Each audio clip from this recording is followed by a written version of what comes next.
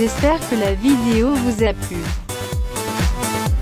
N'oubliez pas de vous abonner, de liker, de commenter et de partager bref, faites ce que vous voulez.